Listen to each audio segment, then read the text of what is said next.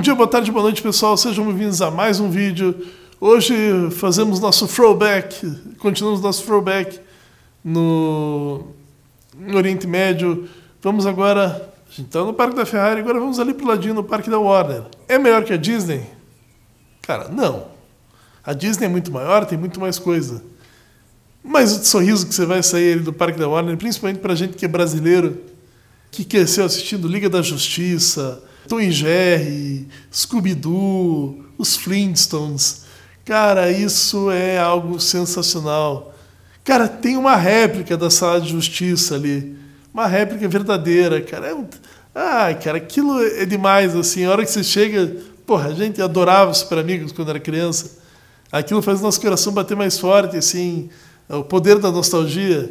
Além de uns brinquedos muito legais. São parques pequenos, esses parques na Yas Island. Então, um parque que você faz não mais que um dia ali, em um dia você consegue fazer pelo menos dois parques aí. Eu não cheguei agora a abrir o SeaWorld, eh, diz que é maior agora que abriu. Eu não tinha aberto quando a gente estava lá ainda. Isso é uma coisa, novamente, bacana. Dubai Abu Dhabi é imperdível, sempre que você vai, sempre tem novidade ali. Mas olha, para você que é brasileiro, você que cresceu assistindo Liga da Justiça, Scooby-Doo, Flintstones, Tom e Jerry, cara, vai bater muito forte no teu coração. É um lugar imperdível, sensacional. Não esqueçam de se inscrever, deixar o seu like. Essa é a dica da semana. Até o próximo vídeo.